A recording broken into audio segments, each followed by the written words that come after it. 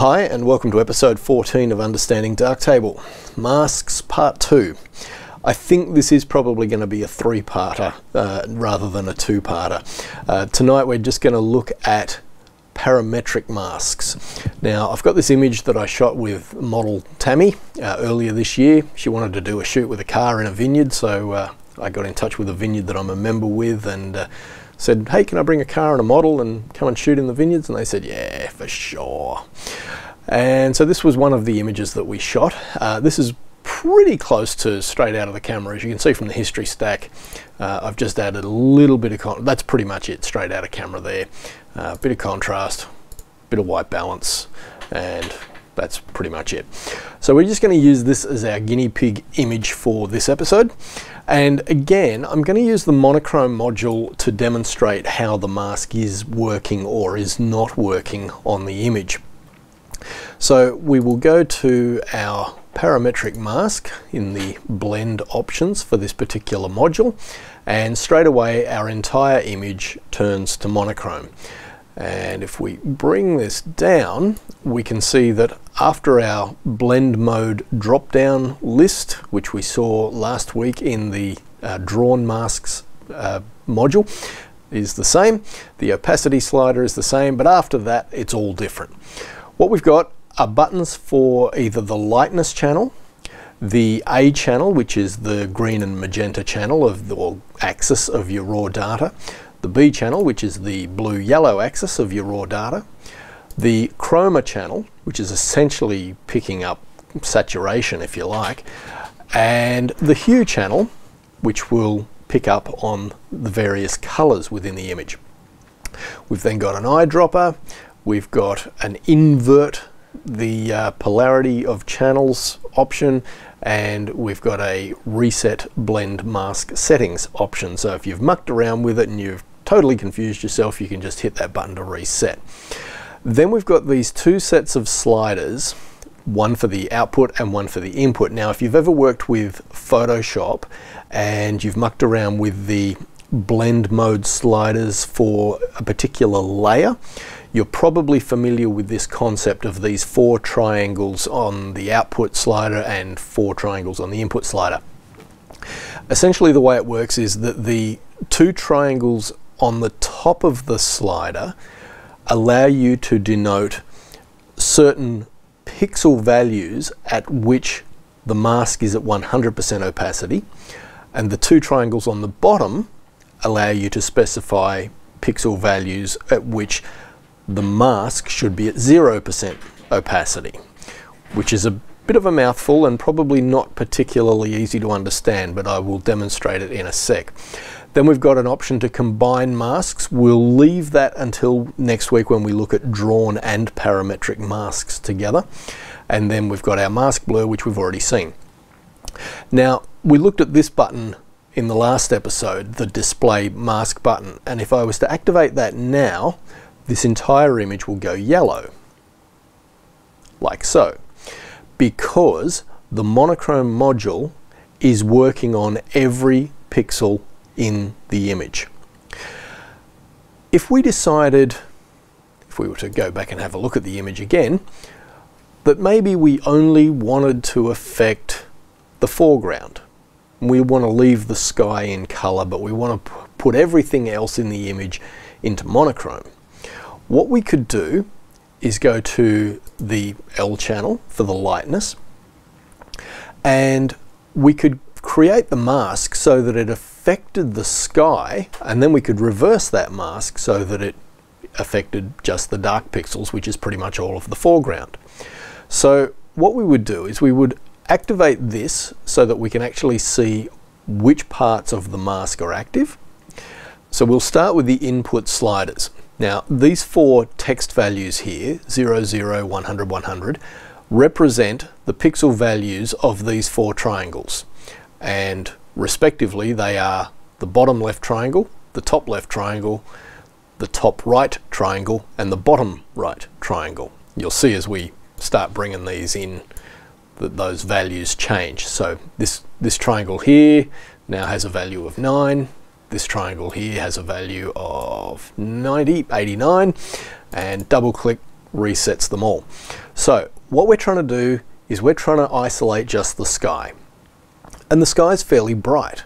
So we would bring these triangles up. And as you can see, when they travel together, we get a very hard delineation between where the mask is active and where the mask is inactive.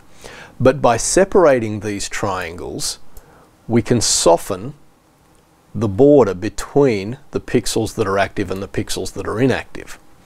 So we want to get as much of that as we can and that's probably as good as we're going to get. Now we're losing some of the sky in the corners where the sky is a bit darker but we are also picking up parts of the image that we don't really want to pick up. In this case Tammy's skin tones some of the sky reflecting off the bonnet of the car. So this is probably a job for next week's episode where we will look at drawn and parametric masks together. But you get the idea. This allows us to sort of fine tune which pixels we want to pick up and which ones we don't. And then we can turn this off to see the effect. And as we quite rightly surmised at the outset, we've got the inverse of what we were after. We've actually made our sky monochrome and left all of the color information in the foreground. So what we would do is come up here to invert all channel polarities. And now we've got color back in our sky and mostly desaturated foreground. It's not perfect, I'll admit, but it's heading in that direction of what we were after. Like I said, in this particular instance, you would use a combination of drawn masks and parametric masks to achieve that result. But let's try some other examples. Let's suppose we just wanted to desaturate the car because we thought, hmm, you know what, that blue, it's just way too in your face and I can't see the girl. Uh, so what we would do there is you might be tempted to go to the, the B channel where the blue and yellow is sitting in the image, but in this instance you would actually be better off with the hue and aiming for the blue pixels, and again we will turn on the mask visibility. Oh, I think we're still inverted, let's try that. And what we can do is just narrow in on the blues that make up the car. And we still want to pick up a little bit more. Come on, you can do it, you can do it. No, there they are. Wow. Okay. That blue extends a long way up into the magentas in that uh, hue range. But anyway, uh, but if we now turn the mask off, we can see that that's done a pretty good job of removing most of the color from the car. Uh, our car is now essentially just shades of grey. Now if we decided that that was just a little bit too much, we could then use the opacity slider to bring back a little bit of the blue, but not too much of the blue right? So we can bring it down to 50 odd percent and there we go. The car is now blue, but it's not as intense as it was at the outset. And we could just dial that up to wherever we felt we were comfortable with it, if that was what we wanted to do.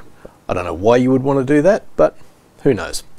All right, so let's reset those and reset that to 100%. So we're now back to a completely monochrome image again. But just by contrast, let's see whether we could have selected the blue of the car by using the B color channel. Somehow I don't think it'll work as well. So we'll turn on the mask and we'll bring this down and we'll bring this one down and yeah see it it's picking up a lot of other stuff that is not the car and I don't think, yeah, it's not going to do as good a job. Yeah, well, well, you could maybe argue that that's a reasonable job at picking up the blues. Yeah, it's similar. I actually think the hue slider did a better job of it, but you know, the beauty of Darktable is there are so many tools and so many ways of achieving similar results. So, you know, feel free to experiment with whatever works depending on the image that you're working on. All right, so let's suppose we just wanted to affect only the most saturated pixels within the image. What we could do is go to the chroma channel and again we'll turn on our mask visibility and we'll start bringing up this slider here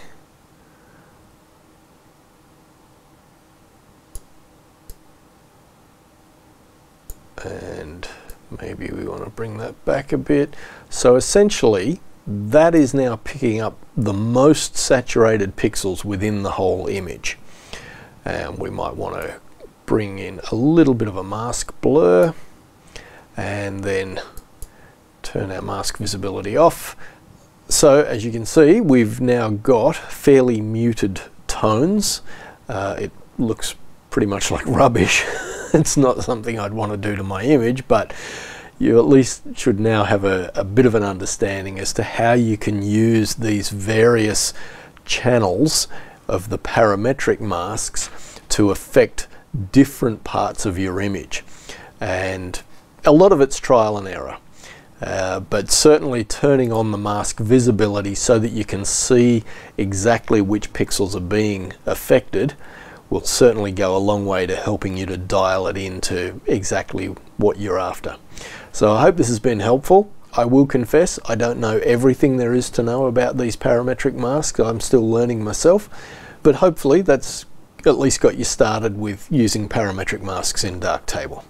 All right, talk to you next week.